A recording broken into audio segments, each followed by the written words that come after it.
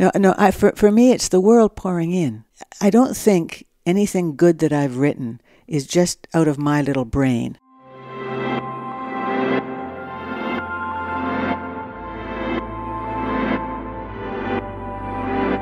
My name is Ben Charland. You're listening to What on Earth is Going On. My guest this week is Elizabeth Hay, the Giller Prize winning author of books such as Late Nights on Air, All Things Consoled, and many others. She's a fascinating author, but also has a fascinating life story, and we talk about both of those things. Now, before we get to it, I want to talk about the coronavirus briefly and how this conversation actually connects to that. We recorded this months before it was a global pandemic, although it was at the time a news story coming out of China. Now, what Elizabeth talks about near the beginning of this episode is Anton Chekhov, the Russian writer, and how he was so productive amidst hardship. Now, this is a debate going on right now as the world deals with lockdowns due to the coronavirus, and we may be dealing with this in waves over the coming months and maybe even years. How productive should we be, or can we be, in our own homes? There are some lessons for that in this conversation, not just from Chekhov, but from Elizabeth herself. Now, as well as that, we talk about Liz's working style, her writing process, the fact that she's working on a novel right now, a continuation of her book, His Whole Life. We talk about how she learned how to write, the decline of book reviews, and the state of Canadian and global literature. We talk about how we're never going to lose our appetite for stories, but we do ask the question can AI one day write a novel? We talk about the dilemma between inspiration and discipline. And what do you do when you're stuck? Now, again, this is a fascinating conversation. I hope you take the time not just to listen, but to let me know what you think about it. You can go to the website anytime, whatonearthisgoingon.ca. There you can find all previous episodes, as well as a way to get in touch with me on social media or by email, and you can find the show notes for this episode. So everything that we reference, you can find it in the web page for this episode and find out where those things are, what they are, what they mean. Also, if you like this podcast, please give it a rating and a review on Apple Podcasts or whatever podcast provider that you use. Finally, keep this conversation going and let me know what on earth you think is going on. Elizabeth Hay, welcome to the program. Thank you.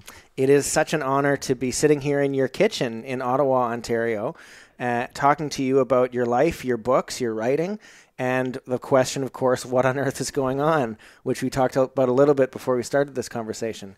Um, I'm I'm excited to chat with you. I've I've read your work and um, have been inspired by it for some time. Uh, I read Late Nights on Air some years ago, and it now happens that I'm moving to Whitehorse, so there's a parallel in my life. And recently uh, read All Things Consoled which was a powerful book for me because about 10, 11 years ago, I lost my mother. And it was a much more rapid um, deterioration that she went through than, of course, you went through with your parents. Um, but there were a lot of things that registered with me in reading that book. Uh, and a lot of things in your work that I think answer this question what on earth is going on? But now I get to ask you directly, um, without any crutch of your books in front of you, uh, Liz. Yes. What on earth is going on? So I wish I knew, but I but I will tell you that that I've been rereading Chekhov, just in the last couple of days, and and I sent an email to my son saying uh, my son is a literature student at Cornell, and I said, tell me uh, because I want to read his letters. Tell me a good edition of his letters. And Ben said to me, Well, there's one on your bookshelf. It's called A Life in Letters, um, which I had forgotten I had. So I dug it out and I started to read these letters. And and and well what is going on with Chekhov is that he died so young. He and he he had tuberculosis so so early on. So he was spitting blood by the age of 20. He was dead in his early 40s. And and the letters I was reading yesterday were about these long journeys he made um, in the most uncomfortable circumstances and conditions. And, you know, this is Russia. This is Russia in the late 19th century. And people experience such hardship constantly. And yet he keeps this amazing sense of humor as he writes, and he is so productive. So he, he, he I don't know where he found his energy. I don't know how he managed to be such a, a, a constant correspondent, fascinating correspondent. But, but here's the thing I have my life here, as you know, in, in Ottawa, in this great house, and the sunshine is pouring in today, and I am comfortable. I, I, I, I, I, I'm a very lucky person. I have a very comfortable life. I'm doing what I want to do. And yet, when I think about the world, I feel unhinged.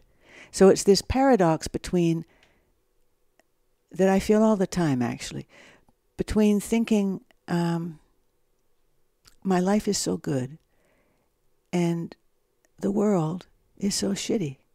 And it, it um, discombobulates me actually. I think you've hit upon one of the great ironies of our time. Um, it's something that the comedian Louis C.K. actually commented on a- a- as a joke, but it's quite a serious statement. He said, Everything is awesome and no one is happy. Well, I'm happy. Right. But but here's the thing, and I, it's the it's the inverse of what you said. Yes. But what he's but the reason that I think the reason partly that when we look around, like I feel happy too. I'm I feel like I'm leading a good, productive, healthy life. I have a good time when I wake up in the morning. I feel like I've accomplished something when I go to bed at night. I'm happy until I turn my perspective to the world. And I think that's what he was getting at because if everyone was happy, then we wouldn't be living in this crazy time where shitty things are occurring every day. And there seems to be this this sense of complaint and difficulty and and problem that is when we look in the newspaper or, or look up um, CBC, what's happening in the world today, and it's depressing. And I think if we focus on that, it I'm no longer happy. I'm now stuck in a different gear in my life, and all the things that I felt good about are no longer there. And the same is true with social media, which is the the playing field for most people my age and younger, who um, see constantly people who seem to be living a better life, who seem to be happier, who seem to be more fulfilled, who seem to be traveling more and are more beautiful and whatever.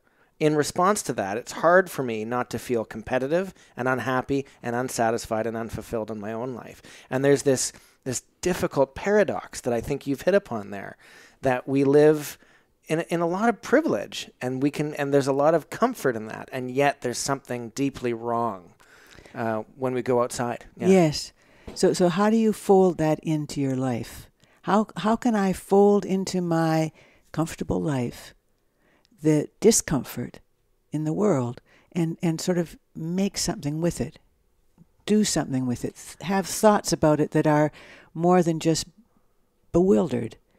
And so what on earth is going on is that I don't really know what's going on. And and besides which I'm 68. So a lot of what's happening is is just kind of beyond my intelligence to understand. I'm looking at your wonderful equipment, your recording equipment. I worked in radio in my 20s and 30s, and of course the equipment was nothing like this. Um, and uh, so so there's this sense of of um, everything being kind of beyond me, and yet and yet I have the um, energy and the drive still to work and to write. Um, and, and, and, and how to do it, that's always the question. So I'm working on a novel right now, and um, I won't say much about it except that at the heart of it is a, is a character, Lulu Blake, and um, a not all that successful actor, although she's had the stamina to pursue it all her life, uh, who, who first appeared in an earlier novel called His Whole Life. So it's a continuation of an earlier novel. I'm picking up this character, who I'm very fond of, Lulu. Uh, but what does it amount to that I'm working on? I work on this manuscript, and sometimes I feel excited, especially when I'm working on it. Then I walk away from my desk and I think, but does it really amount to anything? And I don't know. So there's that. So there's discomfort in the world all around me, and then there's my internal discomfort Yeah. about what I'm working on. and and and uh, at the same time, I'm so grateful that I have the time to work on it. You've talked about self doubt before um, in interviews and also on your website. You talk about how you're, you you almost embrace this idea of self doubt, something that you just described. That when you walk away from it, that you're most comfortable at your desk. Right. You've written before, but when you walk away from your desk, there's this nagging. Is this good enough? Is this interesting enough? Uh, another thing you said that was interesting is that um, stories don't necessarily come natural natural to you, whereas images Yeah. and, and ideas do. Yes. Um, but it seems like you do handle this discomfort and this comfort with the process of writing. I think that it sounds to me like writing is your way of handling this juxtaposition, um, this difficult balancing act that we all seem to do. Um, some some people meditate, some people go for a walk, some people do all of those things, and they write as well. And I, it sounds to me like writing is not not to say that it's just therapy. I don't mean to diminish it in that way, but it's your way of processing the world and and and giving something back, perhaps, to it. Well, it, it gives me a way to live my life.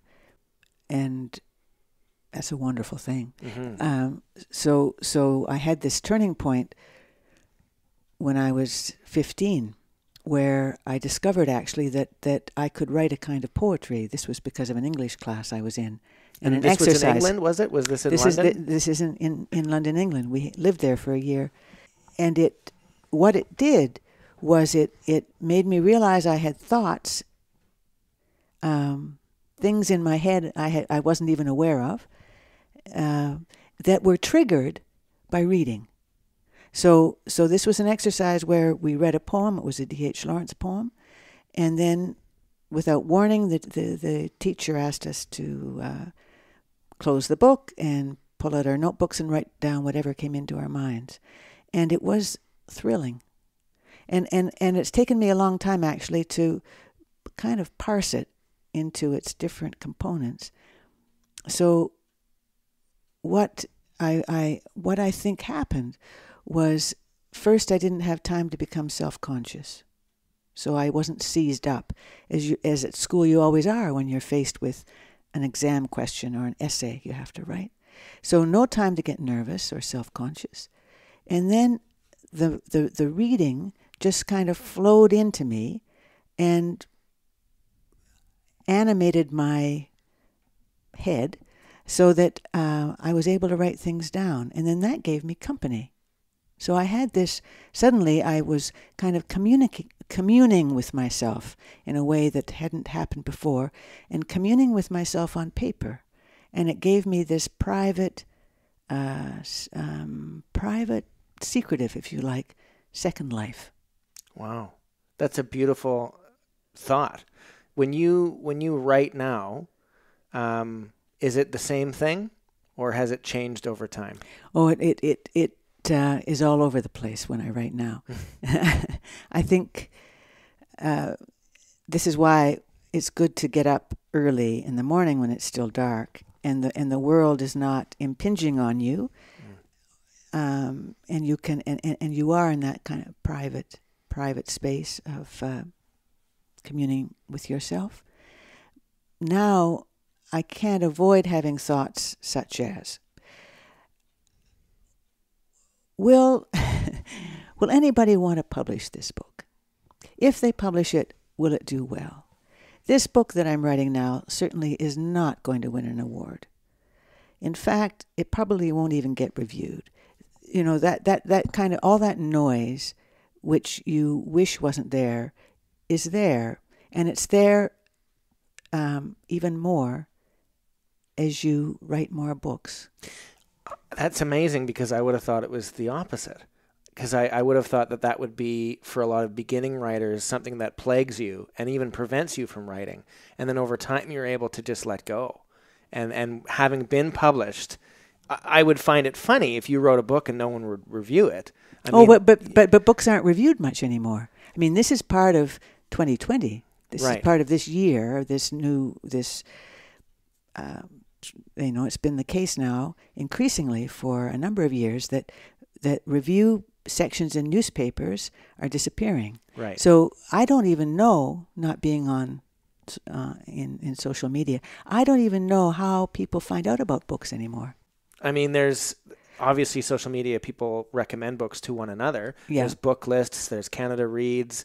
There's a whole ecosystem where books are recommended to one another. But if I but if I look back through my archive of uh, clippings, and I go back to oh 1993, I guess.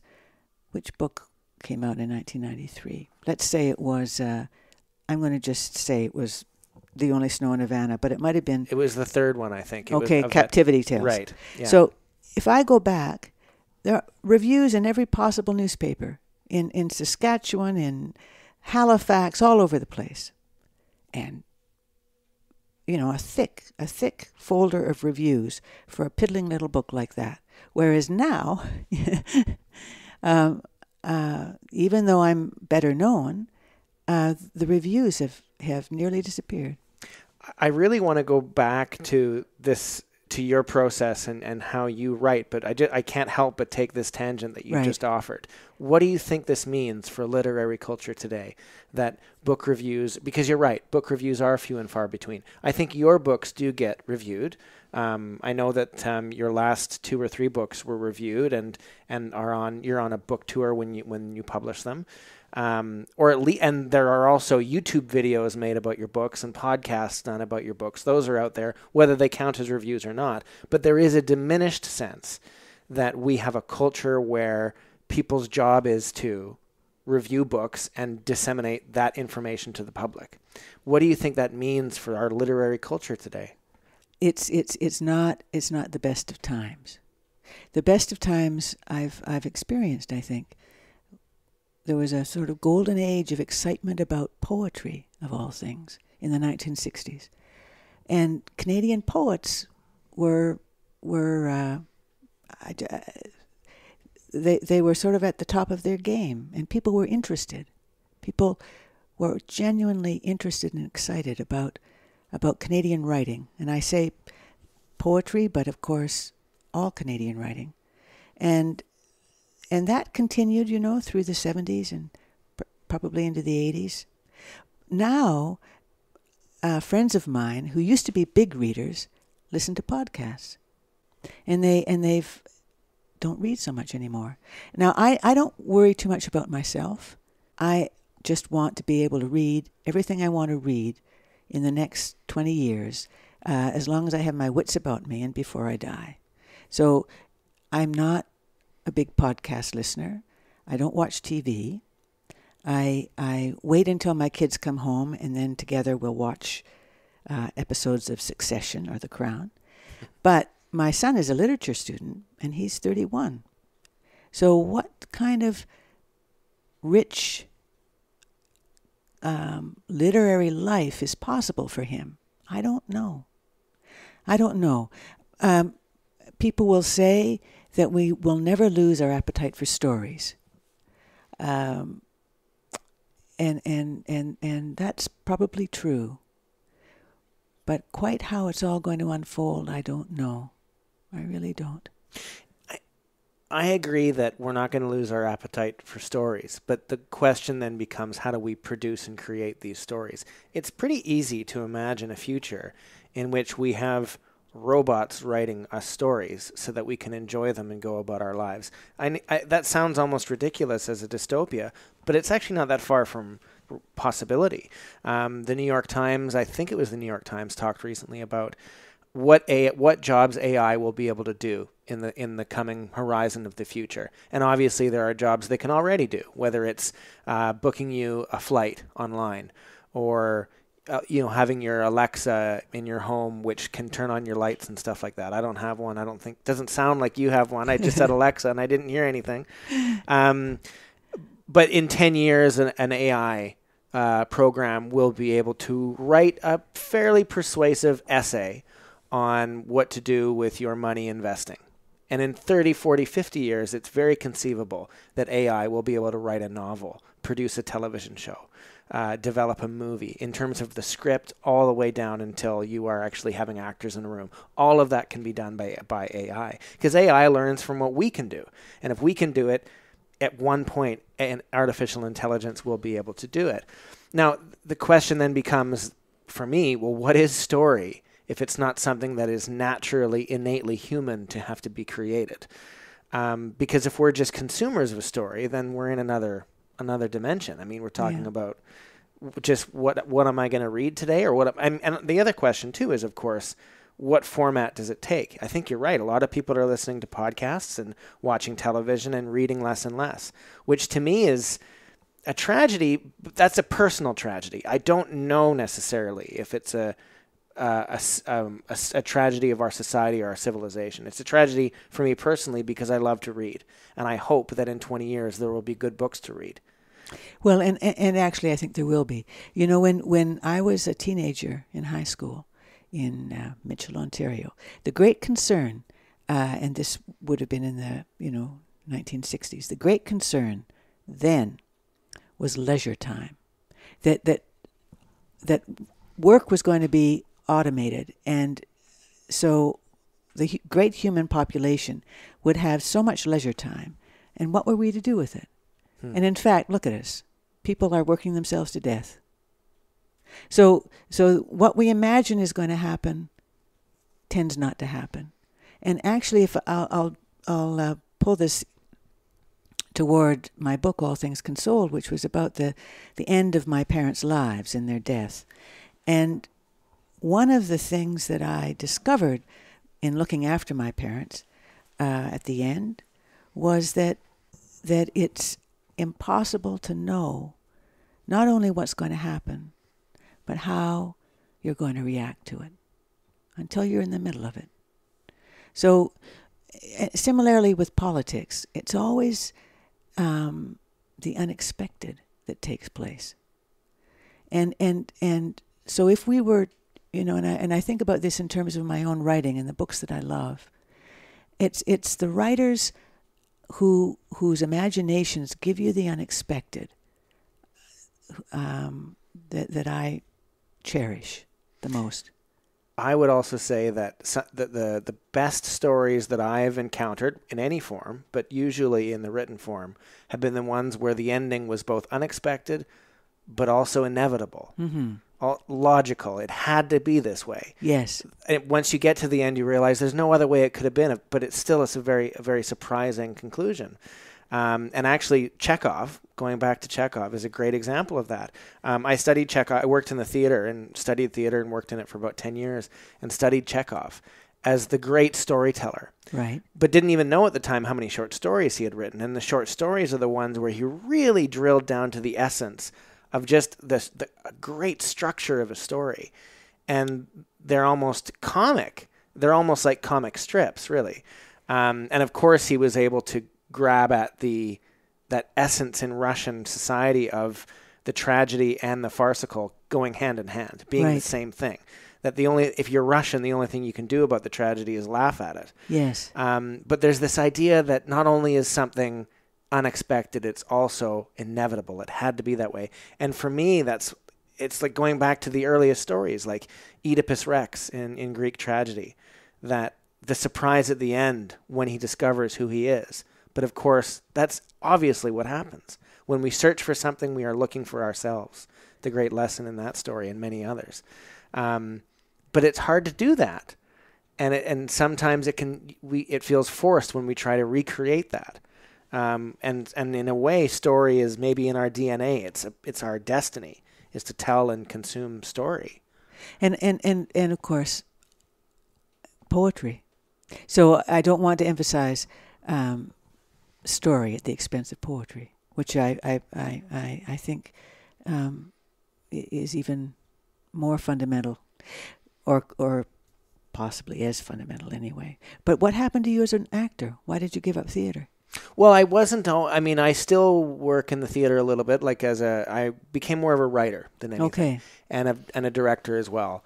Um, I loved acting. I loved being on stage. I loved um, the thrill of having an audience in the palm of your hand and being responsible for their for their journey. But also understanding that the only way to make their journey happen is to kind of ignore them for a little while, you know, and to and to to provide them an experience that is authentic and truthful, and as real as you can within the safe parameters of the theater. Um, yeah, I, I, I don't, I don't know if I have a good answer to that. I mean, I, I went to the UK. I lived in London for about three and a half years and ran a theater company there and worked in the theater and, and had a really great time. I did my master's in playwriting when I was there. And then I kind of took a detour and um, I don't know if I got tired of it or I just wanted to do other things, but I really wanted to explore the world. So I lived in the rest of Europe for a year and then I lived in Africa for another year after that, traveled across Africa, and then I returned to Canada and got involved in politics. And, you know, when people asked me when I got involved in politics in that world, um, they said, So you come from, from the theater? How yes. does that make sense? And I said, Makes Well, think about sense. it. They're the same thing. Politics and theater, they're the same. They're they're identical. And in fact, because they were so similar, because politics is really nothing much more than public relations, I, I didn't enjoy it. I didn't enjoy doing PR for elected officials. It, it, it's not my thing. Um, and I knew that pretty quickly, and yet I stayed with it for for a little while. Partly because I enjoyed the people I was working it, with, and I, I had a great experience doing it.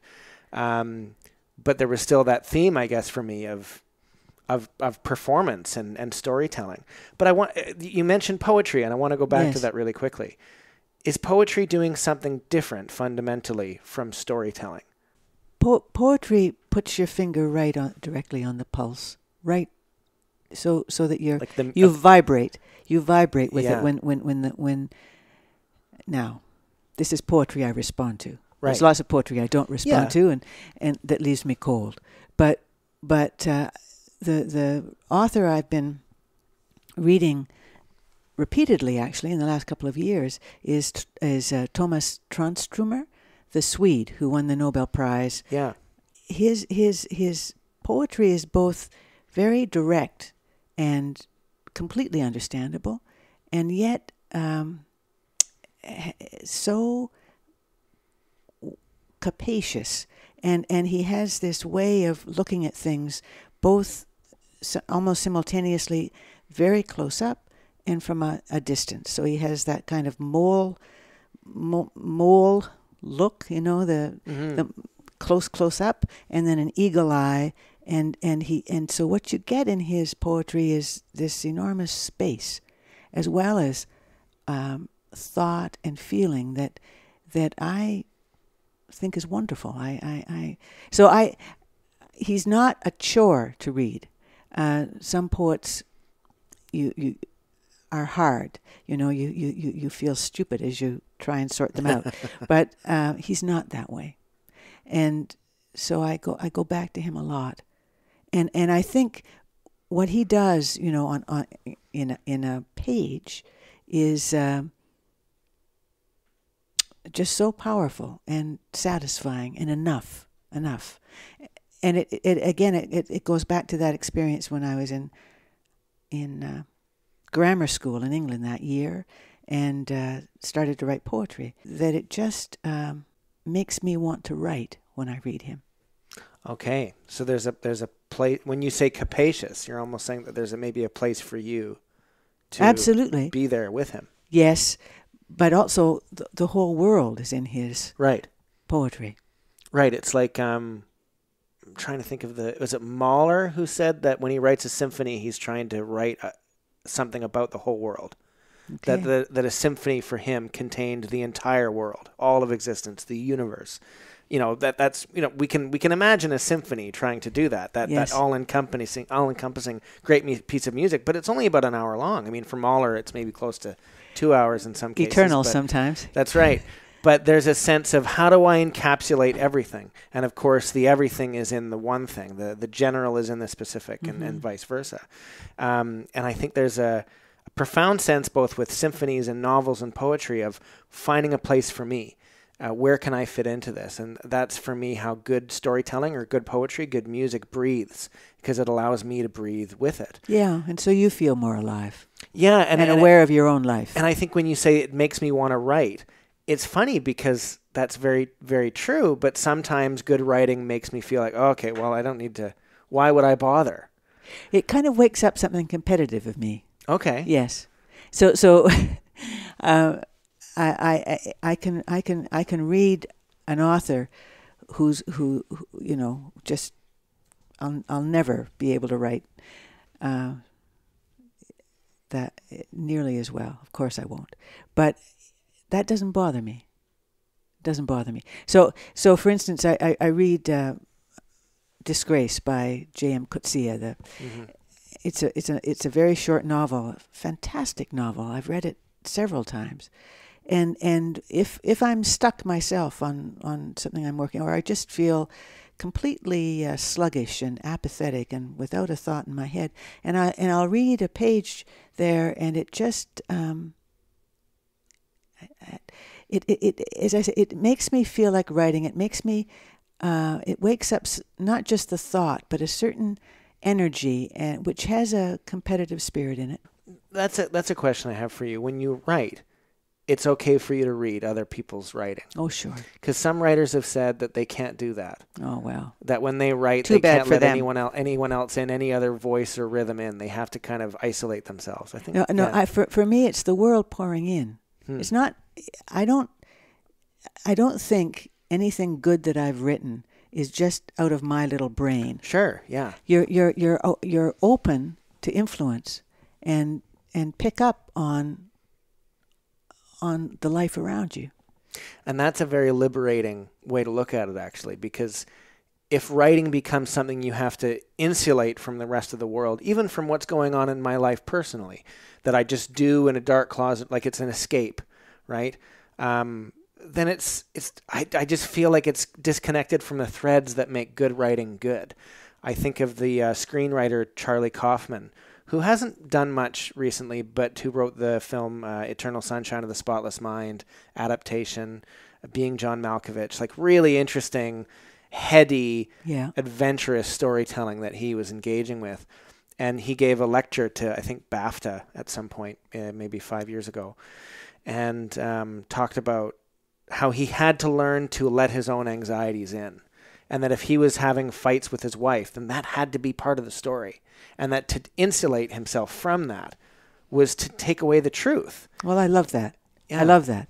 I, I I aspire to that. I don't necessarily know how to do it, but I just love that. Yeah. When you said you're competitive, though, what do you mean by that? Like you said that when you read a good book, it makes you competitive. Does do you, do you mean you actually want to try to do it as well, like a Hemingway sort of thing?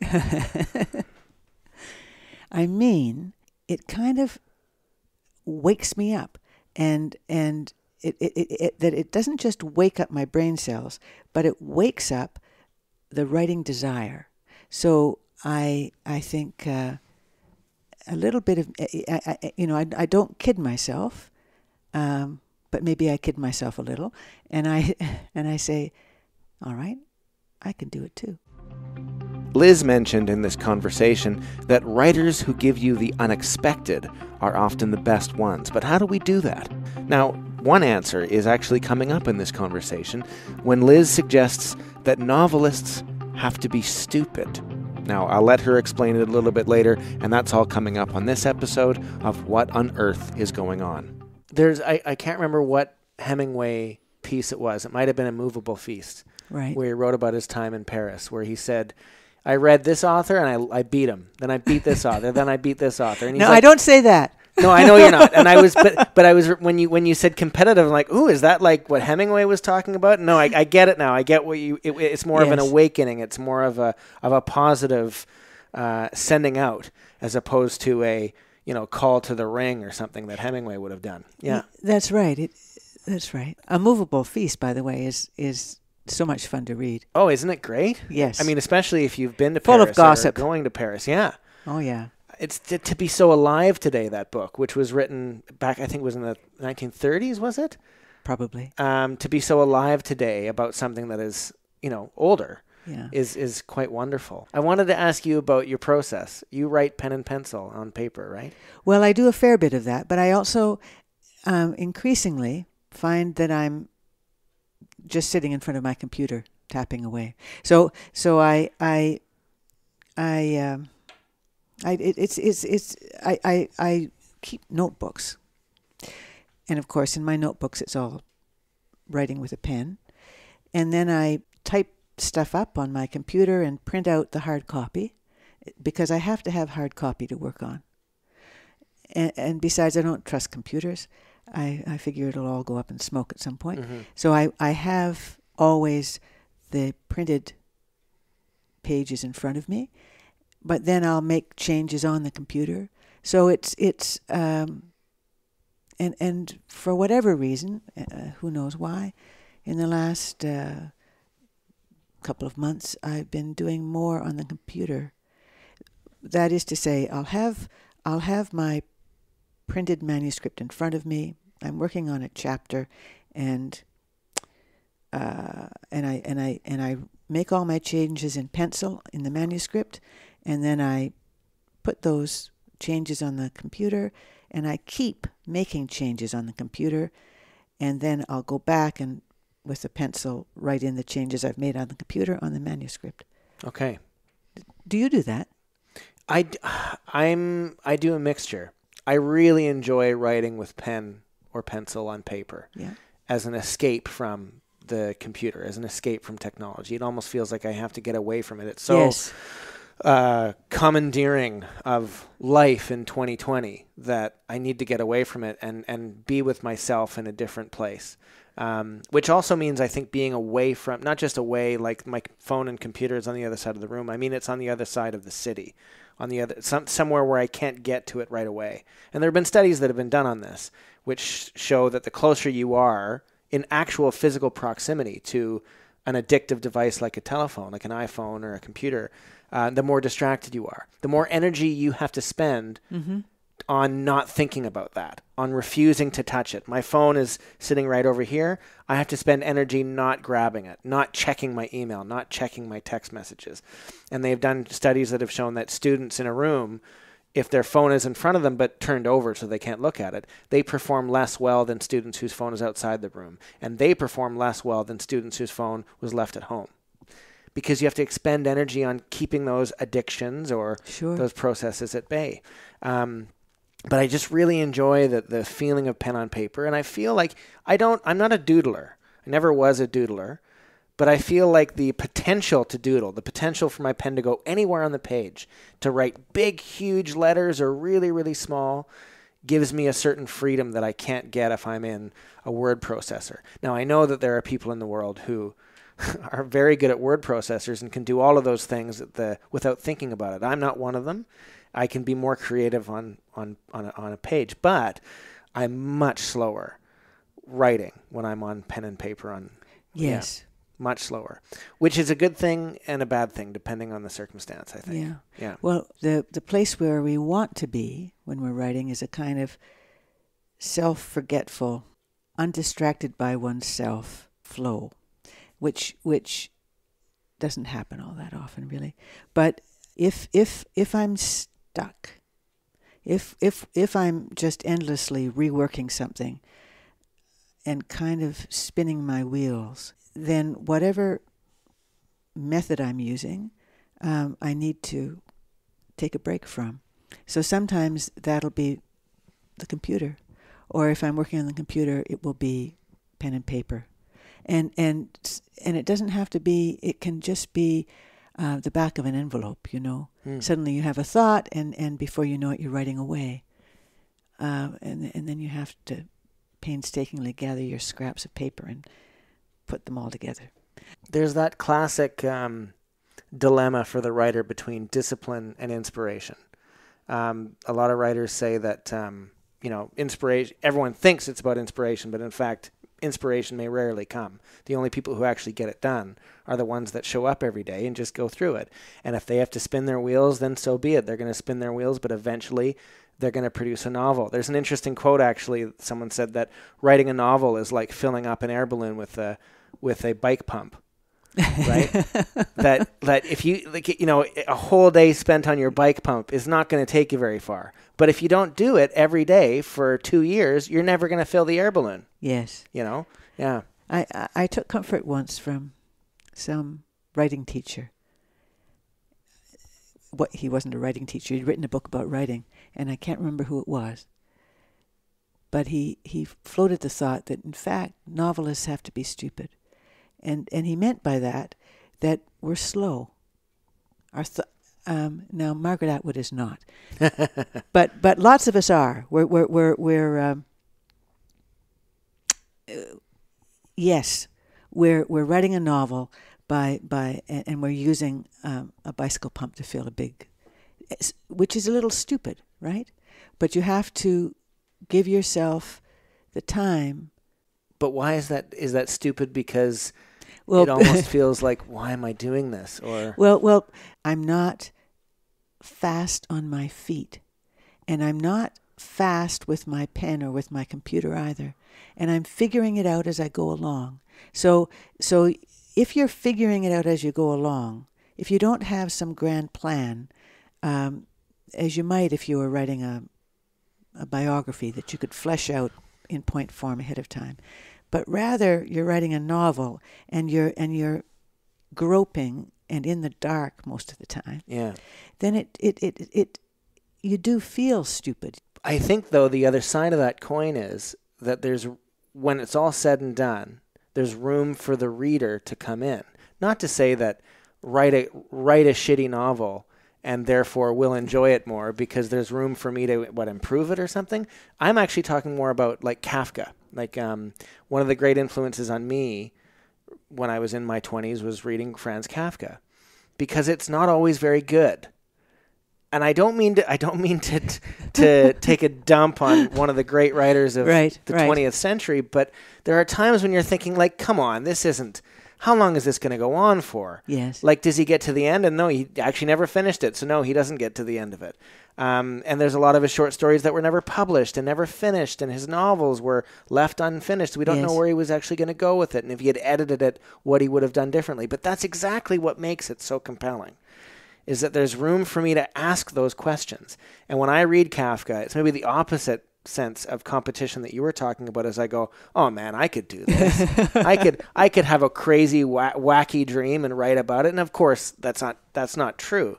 There was a magnificence to that man and a yes. mystery to his mind in a way that he could create these not just these stories but these worlds that were not only fantastic but very um, uh, explicit or implicit about what they were saying about the world around us. Yeah um, that takes a lot of skill and talent. But there's something about his work that lets me in. Well, this is what my mother was talking about. My mother, who who was a painter, mm-hmm. and we were together at some art gallery in New York, and uh, and she said we were looking at a painting by a you know famous painter, famous enough to have his art in the Museum of Modern Art, and and um, and my mother said, "Look," and she pointed to a corner of the painting and said, "He changed his mind." Mm. I said, How do you know he changed his mind? And she just said, smiled and said, I'm looking for the struggle.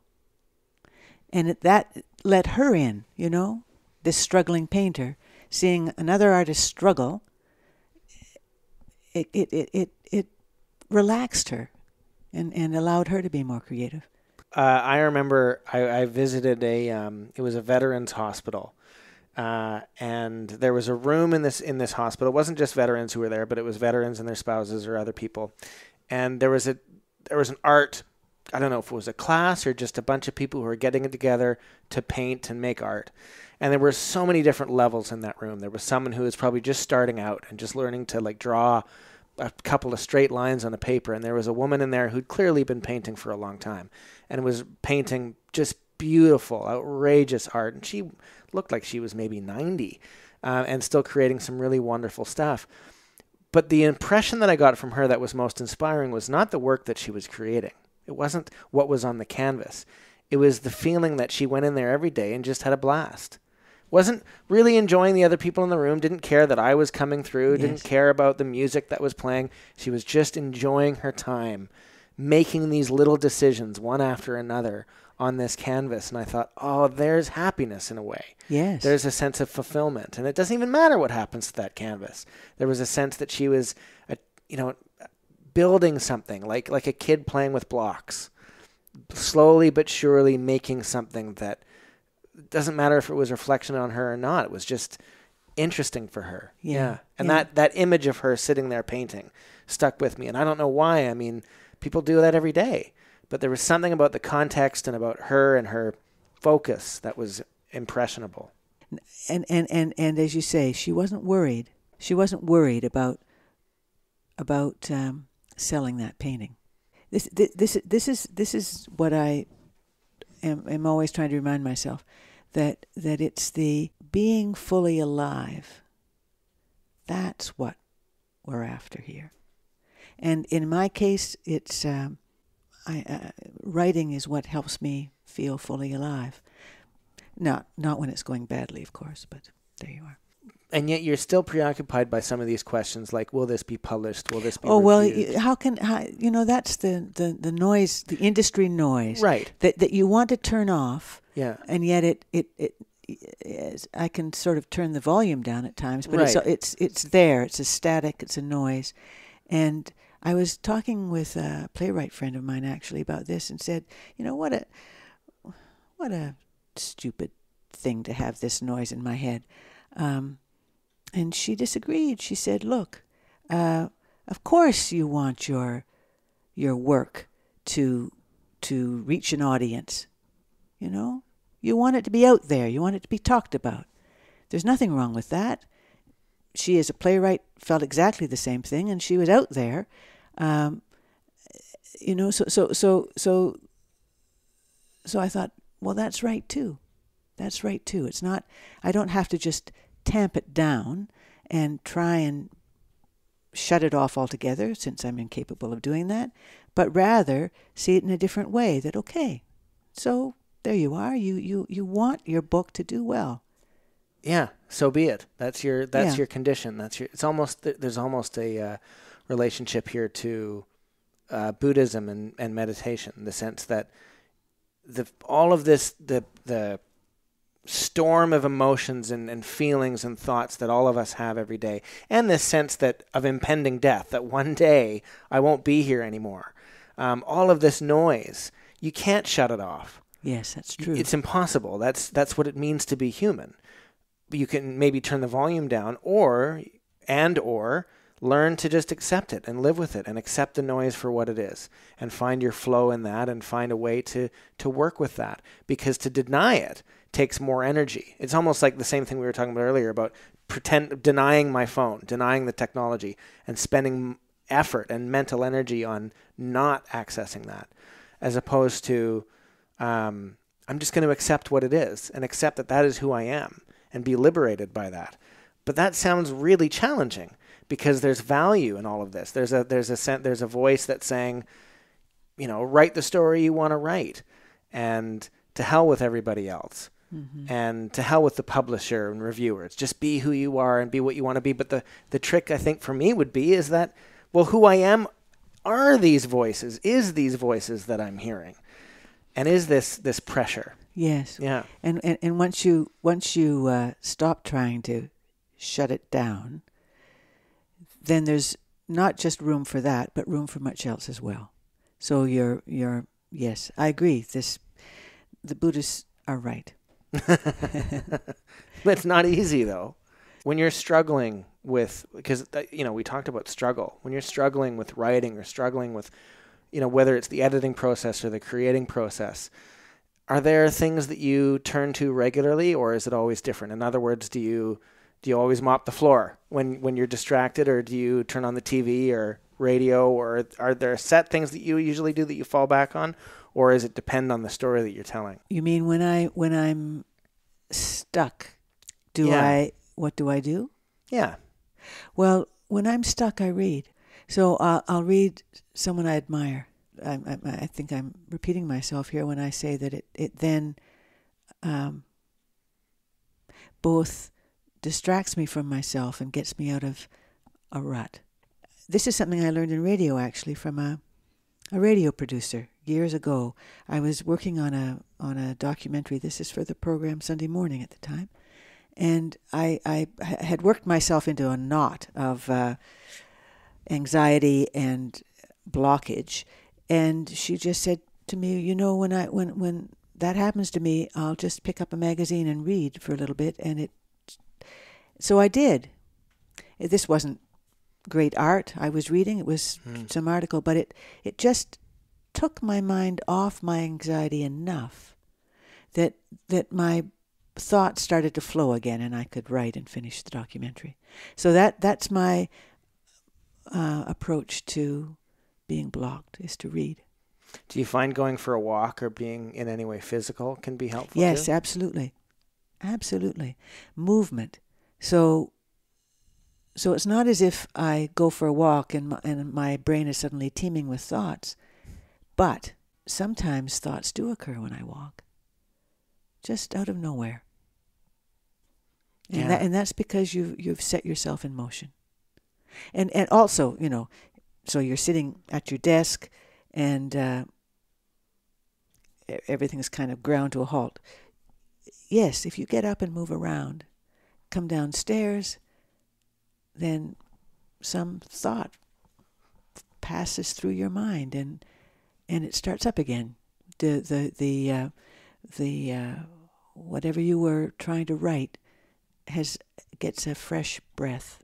When we i mean some of the one of the threads of this conversation so far i think is this idea of the the, the mystery of, of writing the unknown delving into uncertainty.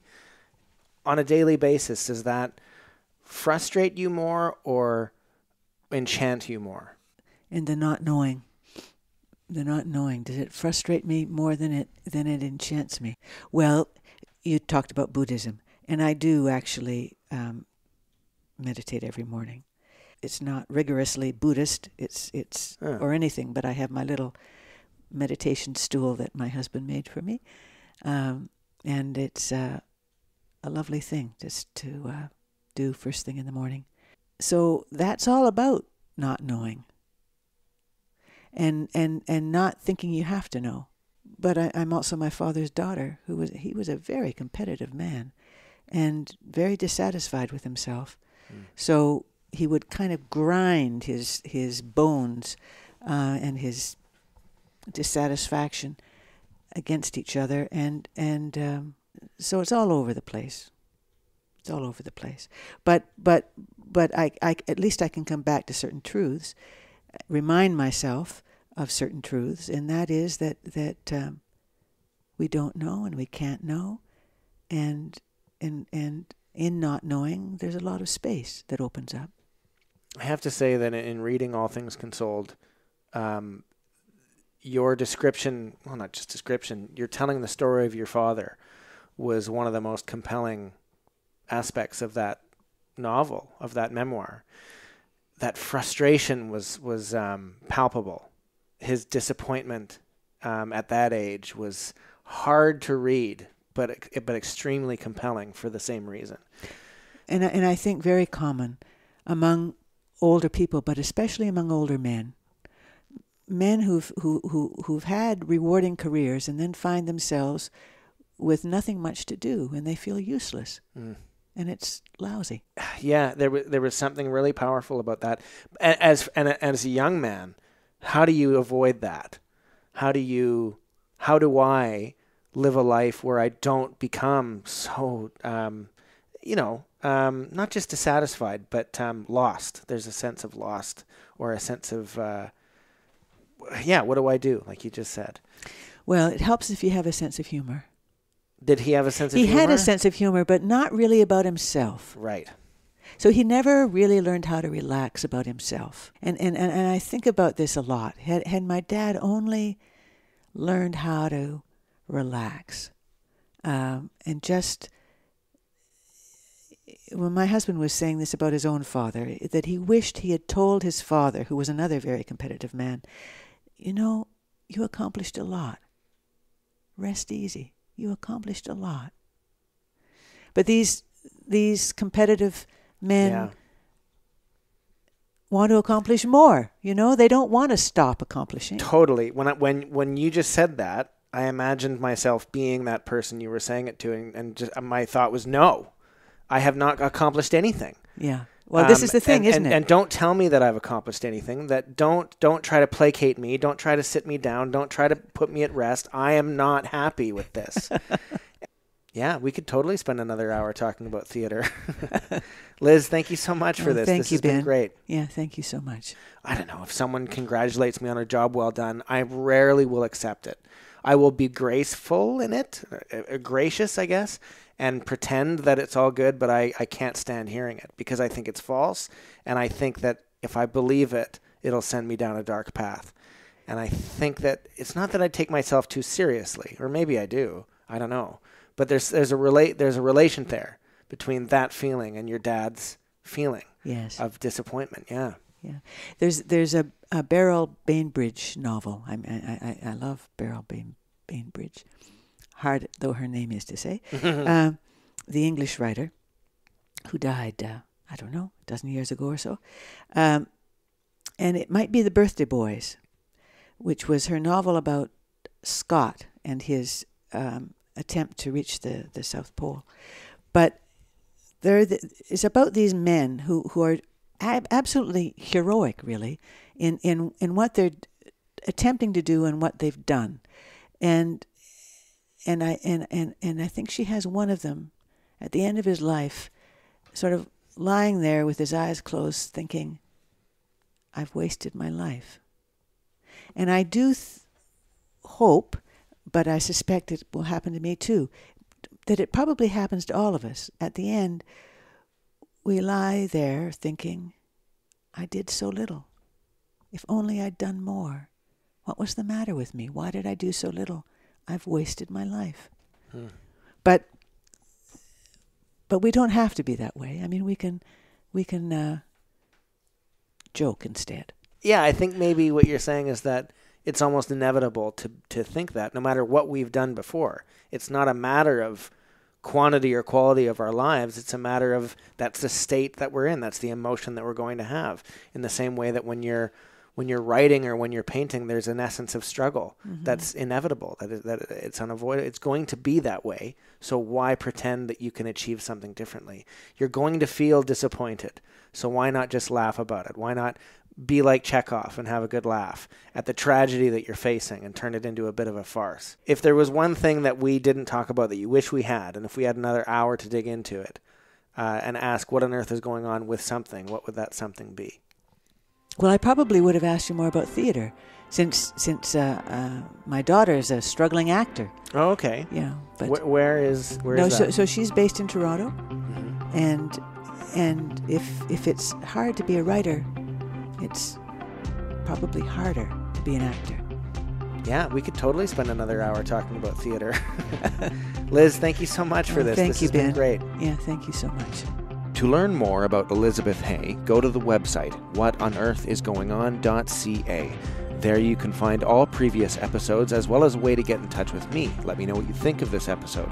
Let me know what you think of this podcast, and you can get the show notes for this episode. So if there's anything that was mentioned that you're not sure what it was or you can't remember the name of it, it's all there on the website whatonearthisgoingon.ca.